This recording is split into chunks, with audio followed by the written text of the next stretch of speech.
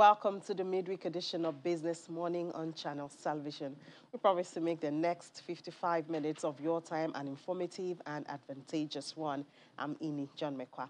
Well, let's start from the global oil space where prices climbed today, extending big gains in the previous session after the United States Federal Reserve chief signaled the central bank may raise rates more slowly than expected, which should support oil demand in the near term. U.S. West Texas Intermediate crude futures rose 38 cents to $81.60 a barrel, adding to 3.8% jump in the previous session. Brent crude futures gained 22 cents to $83.94 a barrel after jumping 3.5% in the previous session.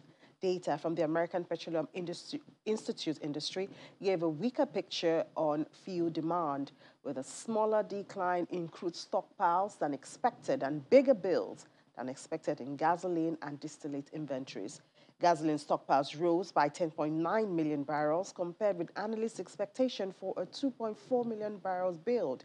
Distillate inventories, which include diesel and heating oil, rose by 3 million barrels compared with forecasts for a 1.8 million barrel increase. However, buoying the market was the U.S. Energy Information Administration's upgraded oil demand outlook released yesterday seeing total U.S. demand rising by 840,000 barrels per day in this year, 2022, from last year, and that's up a previous forecast uh, increase of 700,000 barrels per day. At the same time, the EIA pared its production outlook for 2022, expecting U.S. oil output to rise by 640,000 barrels per day. And that's down from an earlier forecast for an increase of 670,000 barrels per day. The World Bank says it's expecting Nigeria's economy to grow by 2.5% this year, which is 0.1% higher than 2.4% uh, estimated growth projection in 2021. According to its latest Global Economic Prospects report, the World Bank attributes the higher growth projection to higher oil prices and the gradual easing of OPEC Plus production cuts, which is expected to benefit the country. Meanwhile, the World Bank says it expects growth across the sub-Saharan Africa to firm slightly to 3.6% this year and 3.8% next year, that's 2023, with elevated commodity prices expected to support near-term recovery for the region. And still talking about forecasts, the Lagos Chamber of Commerce and Industry says it expects Nigeria's economy to grow between 2.5 and 4% this year, despite concerns over the expected impact of fuel subsidy removal and supply chain disruptions. At a forum on the state of the economy held in Lagos, the president of LCCI, Dr. Michael Cole, asked the government to intensify its efforts in tackling the challenge of insecurity across the country in order to sustain the country's path to recovery. We're expecting that uh, world economies will do much better this year, uh, looking at the impact of COVID on economies worldwide last year and the year before. So if, as a country, we are thinking about two, about three 3.5% last year, then we are very hopeful that we should do better this year than we did last year. If CBN was projecting 5%, that is not far away from what we are saying. But we are in front of the opinion that if all things go well, if we can resolve or try to improve on our insecurity, uh, take it away from us totally or make it very, very minimal, then give us a better country for security. We can even do 6 7%.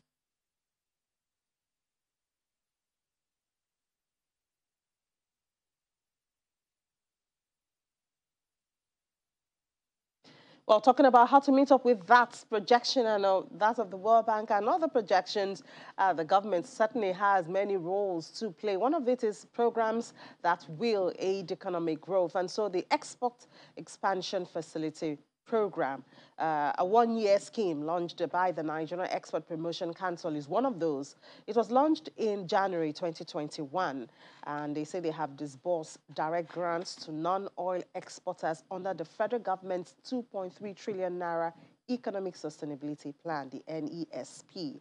As the program uh, gets close to its end, a year, you know, since it started, uh, except extended or, or, or, or the otherwise, we have one of the beneficiaries, Mr. Andrew Andu He's the Chief Executive Officer, Export and Sell. He's a uh, beneficiary of the 2021 Export Expansion Program. And he talks to us as the program winds down now, some of the impacts on his business, and uh, where he thinks can be improved on in case the government decides to extend it. Good to have you on the show, Mr. Ode. Good morning. Thank you so much. It's a pleasure to be here. So uh, tell us, uh, they said they've uh, disbursed, I think, about 5 billion naira or 50 billion naira. 50 billion, 50 yes. billion naira yes. within January 2021 to, you know, yes. 2022 now. Mm -hmm. uh, and you are one of the beneficiaries. Sure. Tell us how this has affected you. How much of the 15 billion did you get?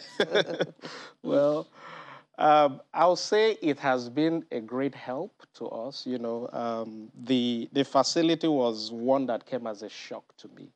You know, and the openness in which uh, it was disbursed was also amazing. Um, you know, I just got a call from somebody, uh, the NEPC, one of the directors, and they said, you know, we've seen what you are doing, export and sell, that we have been training businesses and showing them how to export, that there's a facility available out there uh, for us to tap into. And we applied within two weeks. We got a call from the uh, coordinator of the program, uh, a lady by the name of Maureen, and that was it, you know. Now, the grant we got has been amazing because one, it has enabled us to scale our training. Where we were training about a thousand Nigerian businesses on how to export, this year we are looking at training over 10,000 businesses, and that has been made possible through that grant. So uh, part of the conditions they gave us was that we need to be able to take it, you know, with where the world is going, to take that program from being a physical training into a virtual one so that people, Nigerians, businesses from everywhere can log on, train, uh, you know, and that is some of the things we're doing. They also enabled us to set up the first uh, Amazon export warehouse, you know, because what we do basically is we help Nigerian businesses to put their products to sell on Amazon.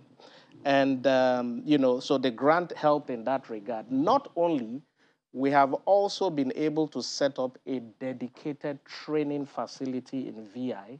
So instead of us traveling, you know, renting facilities, paying 1 million to rent a facility to train businesses, we now have, through this grant, a facility uh, in the heart of Nigeria, in the heart of the, the, the business center of this country, uh, where we're able to train all sorts of businesses. Uh, you know, so so it's it's been an amazing scheme. Um, I think. When my, did you join in? When did you start? Well, um, I think we applied sometime in July. Um, we got the funding uh, sometime in August. You know, so from August till now, um, you know, we've been able to achieve all these things.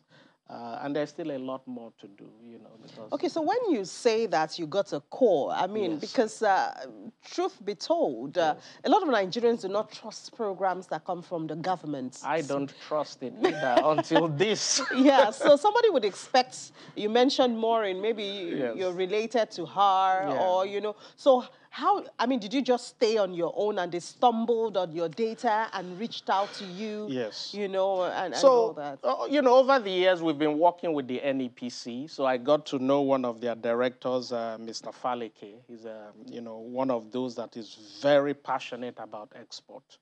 Uh, and uh, he knows what we do. He came to some of our events. You know, we hold events all over the country, training businesses on how to export sell in the USA and how to get their products, how to find them buyers all over the, uh, the US.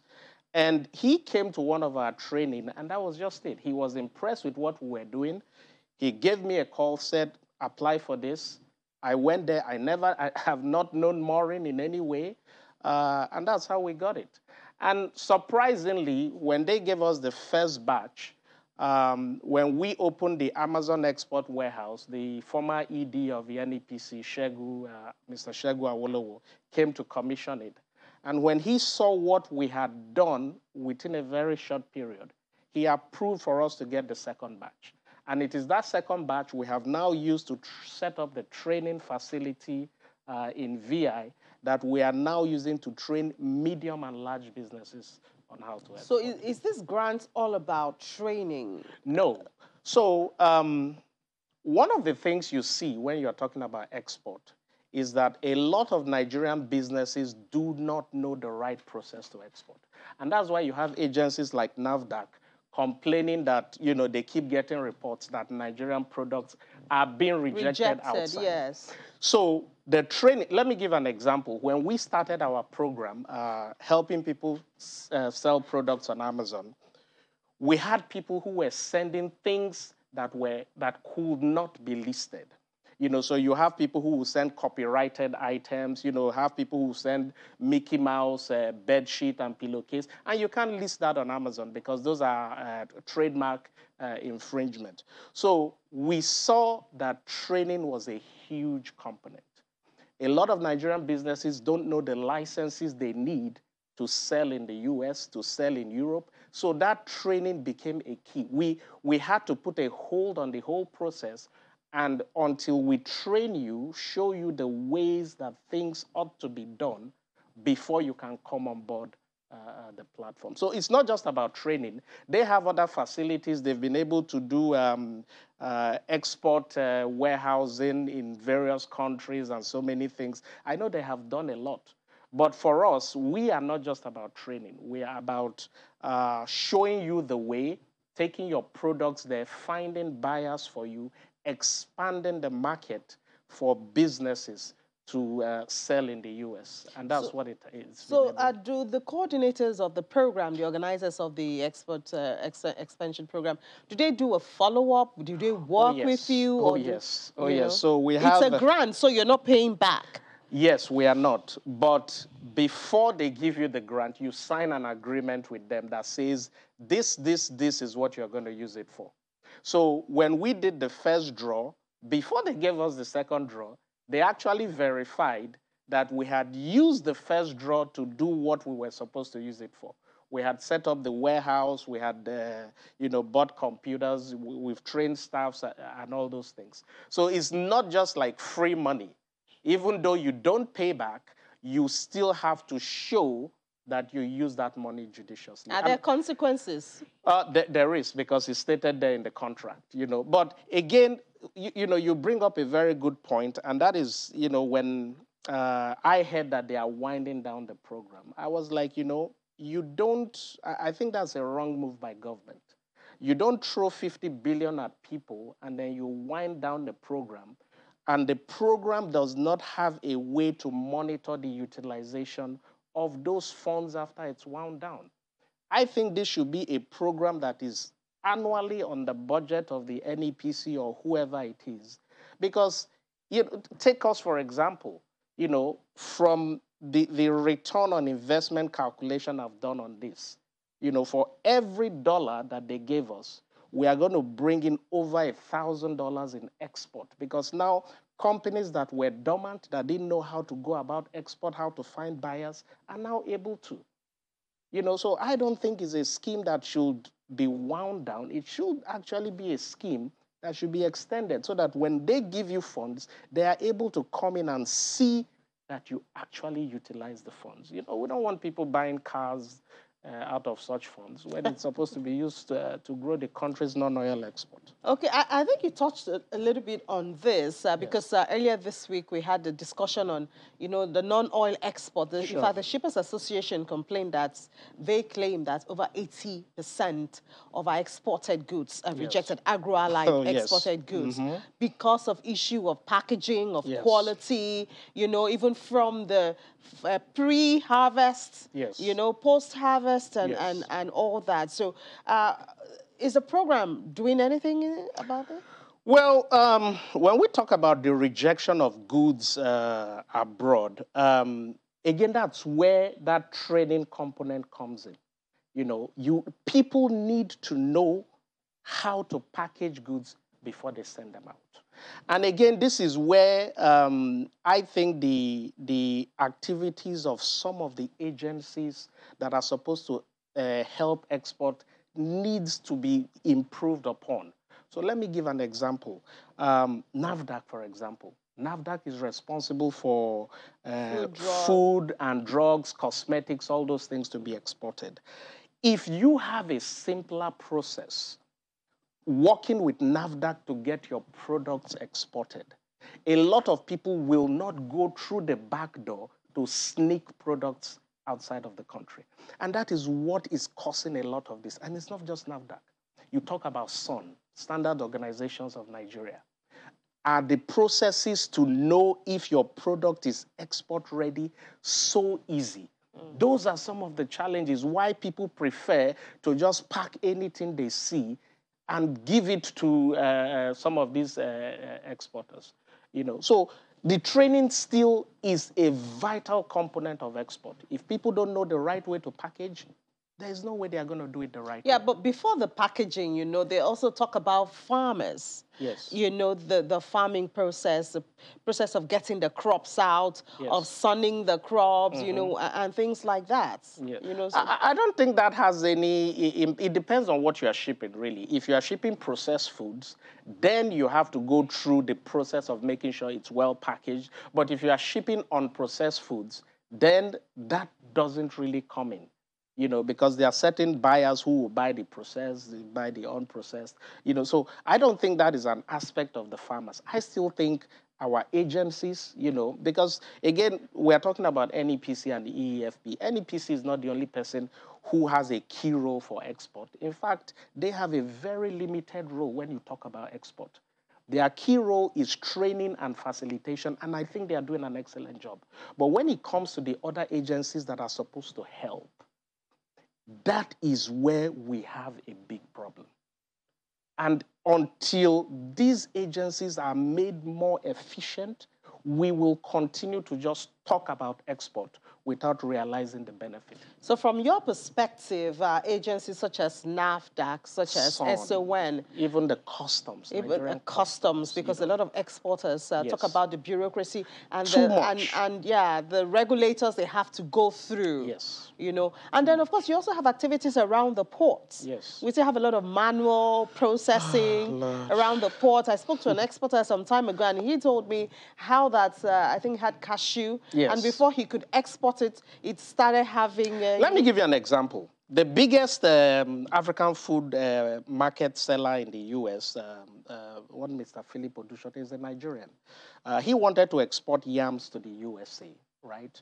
Uh, he, the, the container got to the port. It spent close to three to four weeks before he could get clearance to export it. And the now, what happened? in. The yam started spoiling. By the time it got to the US, a lot of it had spoiled. Now, when you bring in things into the US and they see rotten things, you know what they do? They have to burn that whole container. And you, the, uh, the exporter, will have to pay for the burning. and you even be blacklisted. He had to pay close to $5,000 to, burn, uh, to, to, to do that. You know what he did? He went to set up a facility in Ghana. So now a Nigerian is now feeding the Ghanaian economy because of the inefficiencies you have with some of these agencies. That is what is killing us. Take, take the US, for example. 70% of the foods, the processed foods you see on the shelves of African stores are coming from places like Ghana. Sure. Yet, about 80% of the buyers are Nigerians. So, what are we doing? You know, we really look, it's it's the presidency or whoever needs to come and have a way to monitor all these agencies so that they work Are together. the, are the there is no too much? Is It- it, it is is there's no coordination or they are too much? Look, you see, our let's you know I- I'm passionate about uh, food and cosmetics because there is a lot to do there. You know, from my own calculation, we as a country we are losing about 500 million dollars monthly due to the inefficiencies of some of these agencies. Now, you don't really blame some of them. Let me give you an example. When I noticed some of these issues, I had a meeting with the DG of NAFDAC and we discuss some of these things. And you discover that to a large extent, some of the issues they face may not really be their problem. The, if you look at the law, the, the enabling law that formed NAFDAC, some of the requirements in that act is not friendly to export. So, for example, you have products that you are supposed to export to the international market. These products, the regulation, the act that forms NAFDAC does not allow you to list some of the benefits of that product. So you have a product from Ghana, a, shea butter, for example, saying it removes blemishes and all those things. But that from Nigeria, because of the enabling law, does not allow you to state that. Which product do you think the vast majority of foreigners are going to take? So Obviously. we need to take a deep look into all of these the things. laws that empower these agents. So it's not Some just of them about are the archaic. Okay. They need to, to be relooked at you know, there's a lot going on, you know. A lot is going on, yeah. obviously, and uh, unfortunately, Nigeria is losing a whole lot. We are losing So when we talk about millions. diversifying the economy, these are some of the factors that actually truncate the efforts of the government exactly. that we see, you exactly. know, up here. Thank mm. you so much, uh, Ms. Andrew Kaude, Chief Executive Officer of Export and Sell and beneficiary of the Export Expansion Program for 2021. Thank you so much. We do wish you the best, and we appreciate your passion, and we hope we will see it materialize into I, some I pray so. Thank you so much. All right. Yes. So we'll take a break now. After the break, AFEX Commodity Market is next. To stay with us. It's Business Morning on Channels Television.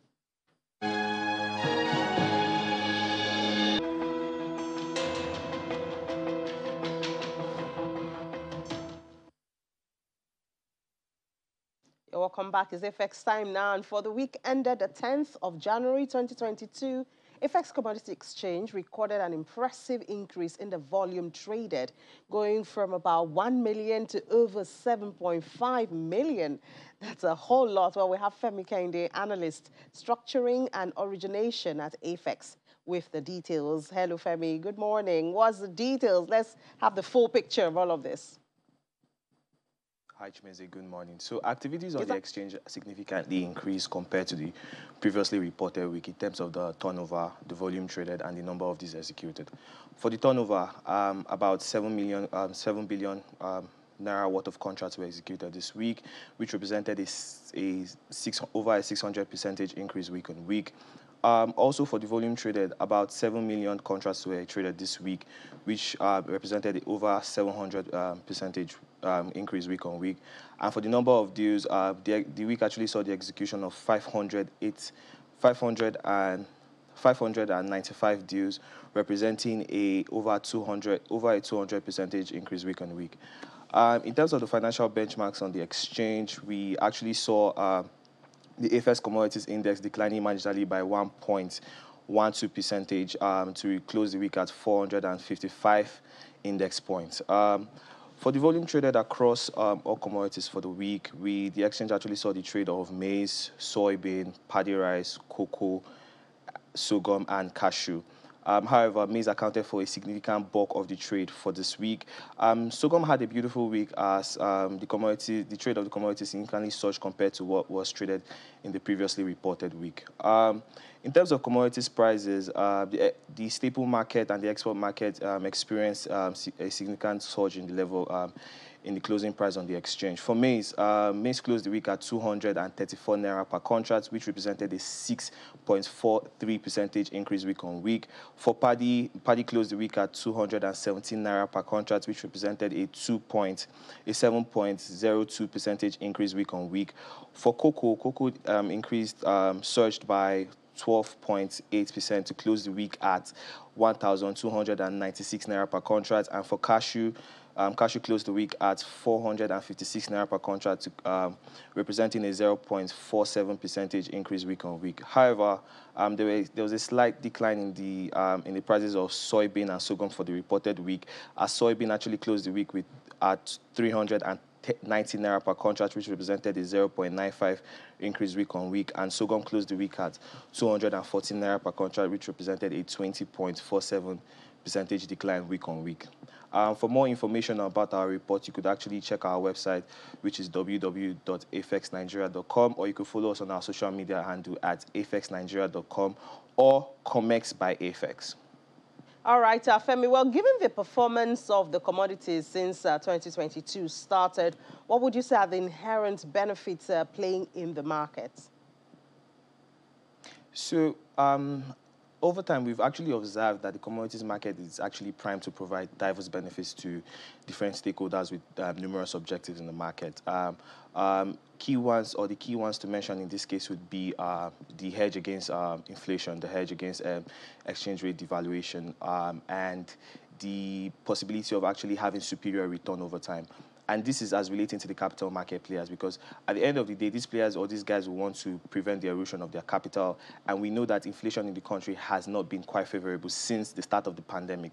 So when you, over time, empirical evidence has actually suggested that um, um, empirical evidence has actually suggested that inflation has returned below um, the, uh, what the ACI, the AFEX Commodity Index, has returned over time. Um, a four-year average would actually show that the AC has returned over 28 um, percentage, while the um, four-year average of the inflation actually shows a 14 percent um, increase. So if you look at this, you know that if I'm putting my money in the commodities market at the end of the day, or if I'm if I'm trying if I want to hedge against the loss of capital, it is advisable for me to invest in domestic staples because these the fundamentals backing the prices of these commodities in the country are actually pushing to an upward trend continuously. And uh, currently on the exchange, what products offerings uh, do you think will benefit different stakeholders? Right. So um, we, we, you actually want to look at this from a processor standpoint and then from a capital market standpoint, right? Uh, if you look at the fundamentals back in the commodities market, we know that supply um, continues to outweigh demand, right? Which is one of the reasons why at AFEX we we we developed pro, uh, we developed the asset-backed commercial paper to honestly help um, processors hedge against um, a, dis uh, a, disruption in commodity supply and also help them um, help them to actually continue operation um, into perpetuity or for the fiscal year. So that's one actually one of the benefits that we we envisage um, is quite useful to processors in the market. In terms of um, products that might be useful to capital market players, we look at our, our FETC, that is the Fair Trade Exchange Traded Commodity. Now, capital market players are usually averse towards playing in this space because of numerous reasons. Number one might be information asymmetry and other reasons, right? But with the FETC, we've provided a transparent means and a very cheap means for people to actually plug into or plug their funds or employ their funds into the commodity space and watch it actually return superior return at the end of the day. So with this in mind, we believe that uh, at AFEX we will continue. we we we are providing innovative products to actually help different stakeholders in the market create shared prosperity. All right, Femi, thank you so much. I will take the conversation further now, still with AFEX. For many smallholder farmers, one of the most challenging barriers they confront is getting their products to the market. Markets in developing countries frequently lack integration, as evidenced by a lack of communication and information sharing. As a result, while markets in one region may offer higher prices for commodity, farmers in other regions have no way of learning about or capitalizing on these price differentials. One of the preferred solutions to this is commodity exchange, and that's where AFEX comes into the picture. We have Yusuf Ogumbi, the head structuring and origination at AFEX, to tell us how they are filling in this gap. Good to speak with you, uh, Mr. Ogumbi. Good morning. Good morning. Nice to be here again. So how do you think that uh, the commodity exchange can play a role in price standardization of commodities, ensuring smallholder farmers get value for their produce? Yeah, um, like you said, one key problem we've seen in this space is the problem of um, information asymmetry, where a number of people have a, an idea of, of, what prices are, while it, some others don't have that that information at hand.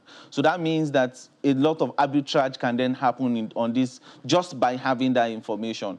And if you look at what technology has allowed us to achieve, given recent advancements, it's just basic for us to be able to say uh, there's information on prices across board, and everybody's able to see um, what these prices are this is one of the key um, parameters the exchange focuses on. And if you look at it, it allows everybody to have a sense of what prices are across board. And that reduces that arbitrage information, and the arbitrage you can get on um, um, the information that you have in any location. So exchanges provide this function and help solve this, um, the problem of information asymmetry. Now, with the solutions of storage facilities and funds to mop up crops from commodity exchange like AFEX, is Nigeria likely to close the food production gaps anytime soon? Hopefully, that's, that, that, that's a stretch, honestly. And I think um, looking at a, 10, a period of 20, 15 to 20 years, looking at some of the advancements we have, some of the solutions we have on the exchange, I think it will be, it will it, we will, we might be able to, to solve this problem. Um, some of the solutions concerning capital, provision of capital, provision of storage, provision of input. Uh, the, the problem of food security is a, is a long-term problem that you would address um, with a long-term mindset. And we are here for the long-term goal. And I think if you look at some of the solutions that we have outlined, um, they, they help us achieve this goal long-term. So for us, we think that this solution, this, this, this problem can be solved in a period of, say, 10, 10 15 years, um, given the kind of challenges we have in the country. Uh, we also hope that a number of other, other um, solutions will come from other stakeholders that, that are needed in the, in the entire ecosystem. The commodities exchange can play a significant role in the AFCFTA and put Africa in a vantage position to maximize the benefits of uh, that agreement. Come again, I didn't hear you. Do you think that the commodity exchange can put Africa at an advantage to maximize the AFCFTA agreement? Yeah, pretty much. If you look at other other continents where you have similar structures, um, if you look at the European Union, for instance, you have markets that allow everybody to be integrated. Um, you have these kind of solutions that allow everybody to access markets, sell whatever they have, and the power of market integration is is is, is very important. If you are able to provide that market integration um, solution to people across board, um, say for instance you are able, you wanted to buy coffee from Nigeria, you're able to buy the coffee on an exchange, deliverable against Kenya. These kind of solutions are very important in integrating these countries together. And if we look at it from an African standpoint, where you have a number of countries that are significant in each of these regions, so you have a Kenya in East Africa, you have a Nigeria in West Africa, these kind of integrations on a, on a commodity exchange level, where you are able to transact on that market and execute your transactions seamlessly and efficiently, can help to fast track um, these, um, the, the, the, the, the benefits AFCFTA provides to Africa.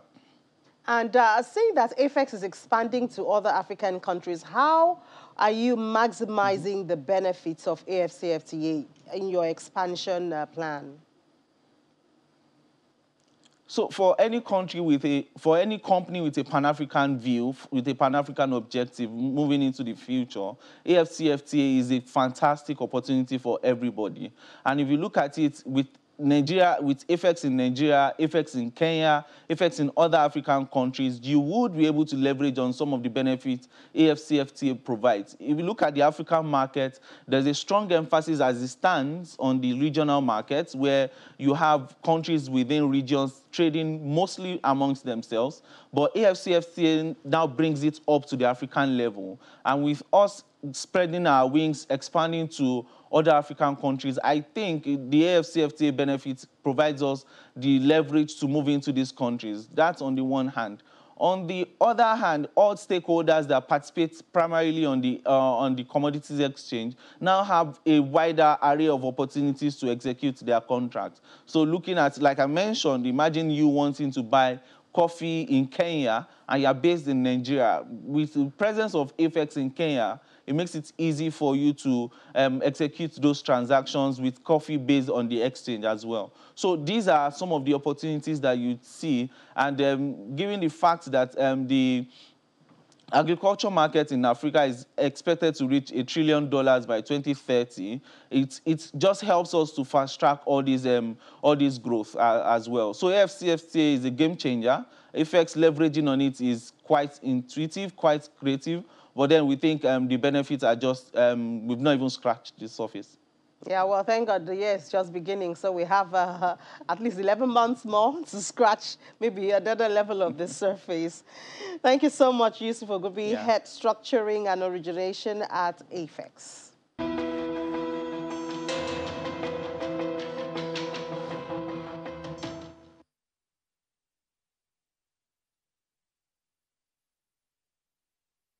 It's now time to do an opening call to the market. Here's Will Ibong.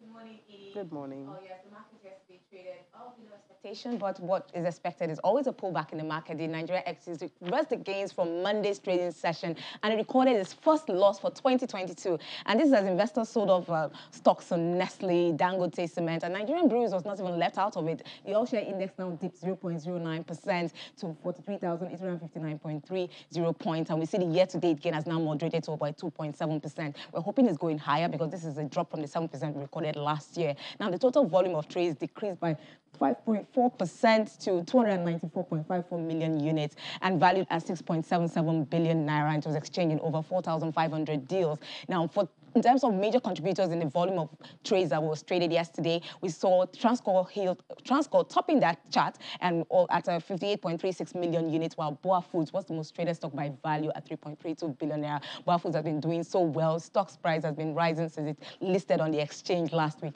Now, on the sectors, we see that the consumer goods, insurance, and industrial goods declined now for the consumer goods, we also we talked about Nestle starting off there. We also saw um, uh, Nigerian breweries is also the corporate there. Industrial goods counter it was, you know, it was driven by the loss in Dangote Cement. Now, meanwhile, the second tranche of Dangote Cement share buyback program will commence next week. That's Wednesday, January the 19th. And on the flip side, we saw oil and gas and the banking index gaining there. They posted really good gains, 0.9%, um, almost 1% for the oil and gas sector. We move quickly to the fixed income sector. But before we do that, we see the NASD market. There was really no movement there. It just remained unchanged from the price action we saw on Monday. And flip over to the fixed income market where bonds well, we saw a bit of was still very, very quiet there. It opened on a bullish note yesterday, so you can see that the yields probably went down for investors. Not a very good thing, but buying interest was seen on the short tenor bond, especially in 2023 and 2026, and it dipped and for the 2015, we saw a lot of uh, buy, um, sell, sell there. I mean, buy action there.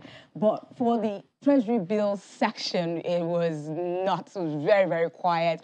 Large ticket repos were done on the um, for this, we just went by the OMO section. We saw that there was a lot of buy action for the 13th of December 2022 paper there.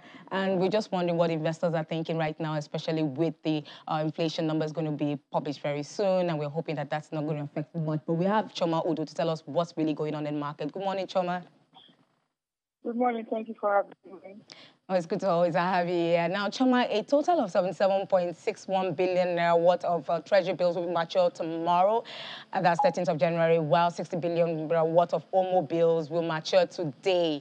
How does this help to manage liquidity, as it appears to be a little bit tight at the moment? You're very correct. Um, liquidity is a bit tight. We have about 86 billion in the market, which is including the majority of all automobiles we had yesterday, of about 65 billion. And today we have an um, an NTB auction, which is basically a retapping of about 77 billion across three channels, where 91 billion and for 91 days we have 4.2 billion, 182 days we have 7.5 billion in offer, and 362 days we have 65.9 billion. This is basically where all I uh, the last um, stop for that um, bill, the one year bill, of 4.9. We expect that rates are going to you know, continue that level since the NTB market is basically quiet and uh, there isn't a lot of liquidity around with in the market. Day, the Treasury bill will spur activities in the secondary market? Do you see it spilling over? Do you see investors becoming more interested in buying papers, bills at the, at the secondary market? Well, for the secondary market, all the auction we have seen, action we have seen basically of the bond space, like you rightly said in the beginning. Um, we've seen activities at the short end of the bond curve where we've seen activities from the 2023 down to the 2026. It's been a bullish trend here. This is as a result of the maturities that we expect to come into the market and coupon payments. We have 218 billion in coupon payments and 605 billion in maturities. This will start trickling in from the third week of January. We've seen investors try to be wise, picking up um, um, assets as you can see the, um, now before it really trends down. So basically, most of the activities are in the bond space. We expect that the um, T-bills market will remain quiet. Like rightly said, we expect the inflation figures to trickle in. So um, that will check the cost, the cost of um, the treasury bills market. And we also expect that the results from today's auction will also give us like a leeway or headway of what to expect going forward for the treasury bills market. Choma, we're hoping that we're not going to get a low yield environment. You know, we're looking for the yields to keep going up for investors. Thank you so much, Choma Udu, for coming on. That's Choma Udu, fixed income dealer at GT Bank. So, Ini, that's what we have for the markets, and we're hoping that uh, today we'll have a bullish uh, comeback equities. Yeah, we'll certainly always hope for the best and keep our fingers crossed. Definitely. Thank you so much, Will. So we'll take a quick break now. When we come back, we'll do an opening call to London. Do stay with us.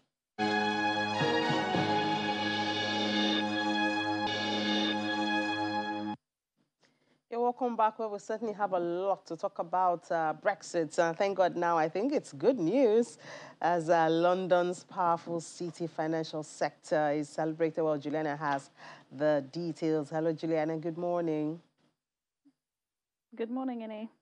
So back to Brexit, and despite losing key business and bankers to rival hubs, we still see London's financial sector shining. How did you guys do this? Well, it's it's definitely the one percent, not me, I'm afraid, um, Ini. But uh, yes, I can't determine whether or not uh, this um, article that's been released today um, is biased, possibly, um, because we know that earlier in the year Amsterdam overtook London as being uh, the financial hub for Europe. Uh, but what's been determined by looking at the amount of um, IPOs um, that were initiated in London uh, last year, worth billions of pounds, I suppose the most notable, even though it was a flop, uh, was the ride-hailing uh, food delivery service Deliveroo. It has been determined that London um, does remain the global financial center of the world. I think really it's it's attained that position uh, for centuries, hasn't it? Not just because of the language, but because it's the center of the world. And um, the square mile has become an ecosystem of hedge fund managers, lawyers, um, fintech workers. Uh, there are about a million people in the UK that work in the financial services sector, about 400,000 of them being um, in Britain and it, in London. And if you do take into account certain other factors, even though Amsterdam has overtaken London in Europe since Brexit, I think if you take into other factors, um, London is only second in the world uh, to New York. So, yeah, there are good things that are coming out of the square mile. Last year, at the beginning of the year, the stock market um, lost about 40% due to uh, the post Brexit withdrawal agreement, which came into effect. Unfortunately, for some bizarre reason, uh, to those working in the services industry, the financial sector uh, wasn't included. So at the moment, uh, London Financial Services cannot offer um, anybody outside of the UK access to European shares, shares, and that's a massive issue, something that they're hoping to overcome. But again, all news is good news when it comes to positive sentiment about the City of London. So I'm sure uh, Rishi Sunak and uh, uh, the Bank of England governor will be happy with this report this morning. I'm sure we'll certainly see their reactions uh, all over in a couple of hours uh, just when they get to their offices.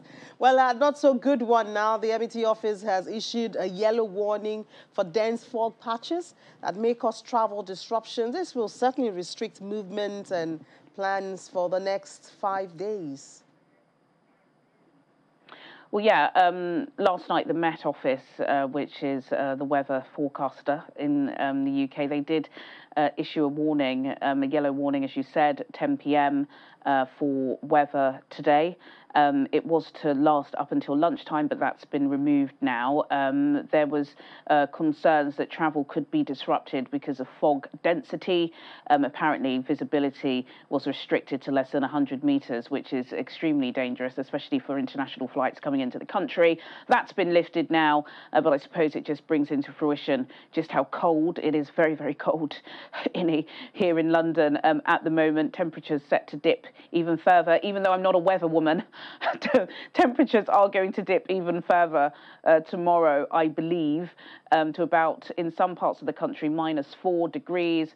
And if we put the business side um, into this story, it does, you know, uh, put uh, the fact that we're going into an energy crisis um, into uh, much uh, scope because, of course, when it's cold, people need to warm their homes. And at the moment, it's very expensive to do so. Mm. Well, thank you so much, Juliana. We'll certainly get uh, updates on that and a whole lot more. And of course, uh, we're still waiting on the U.S. I think about lunchtime today. We'll see their figures and then mm. we'll see mm. the reaction uh, during business and corporate. Thank you so much, Juliana. Thank you. Let's take a peep into the crypto market now with Ladi Williams. Yeah, so we have some uh, relief for the market now. The market cap, you know, back above 2 trillion. We see Bitcoin, you know, rising above the 42,000 level. So uh, there's some relief for traders at this point, but hopefully the bears don't, uh, you know, sell on this uh, uh, rise. Um, it's $2 trillion now, uh, the market cap, up 3.13%. volume down 15%. Bitcoin dominance there we see at 40.12%. And we see Bitcoin uh, able to rise above the 42,000 level this morning at $42,700. It's up by 1.40%. 24-hour volume, uh, $25.42 uh, billion dollars. And we see Ethereum too not looking bad. Also been able to stay above the $3,000 mark at 3,200, up 4% this morning. A bigger rise than Bitcoin there. 24-hour uh, volume traded in Ethereum, $15.16 uh, billion dollars. So uh, the bulls are looking uh, quite strong this morning, uh, but who knows what's going to happen next. Uh, BNB, $461. It's up uh, 5%. Looking at the top ultimate market cap, uh, the, uh, the token for the crypto exchange there having a recovery. So it's uh, mostly a broad recovery around the market this morning. Cardano, $1.21, up 5, 5%. Solana, $139. But CXRP there, still below the 80 uh, 80 uh, cents uh, mark. let's bring in Gilbert Jopata now, a digital market analyst. Great to have you, Gilbert. Good morning. Yeah, good morning, Mr. Ladi.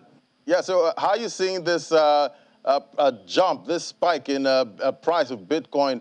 we did get to about $39,000, then got a sharp rise there. How are you seeing the market? Okay, the market is still resting its key zones. And uh, it's good to still see that there was a high rejection at the 39K zone. And uh, we have uh, an increase and a possible bounce beyond the present price we are in. We may probably go test the 46, 47K zone as well. All right, um, you know, we've seen major markets, you know, rattled by, you know, it, the, the, the, talk about interest rate uh, hikes, but how does it really affect uh, Bitcoin? You know, thinking that Bitcoin should actually, you know, be a hedge you know, at some point? Okay, central bank excessive printing actually uh, bring in a high demand on the use of Bitcoin as a hedge, uh, which is also regarded as digital uh, gold and a safe haven asset. Uh, Bitcoin came into existence at the time when interest rates were low. So a quick increase in uh, interest rates can bring about a short-term speculatory uh, downward movement. But we must remember that Bitcoin is an open source monetary system that anyone can trust. So we have trust now for this monetary system, but it will just be a matter of time before the consequence of increased interest rates will step in, and also they will discover they just can't fight inflation and a weak economy together. The the crypto market is a global ecosystem, and the U.S. will need to get themselves together, or else they may end up in a disadvantaged position. Yeah, but it seems like the crypto market is, you know, losing that uh, hedge quality about it because I, I noticed that when you see sell-offs in major uh, markets, you also see sell-offs in the crypto market. So, uh, like a recent IMF report I saw says it's not looking good as a hedge. Okay, this is because the market is controlled by people and investors.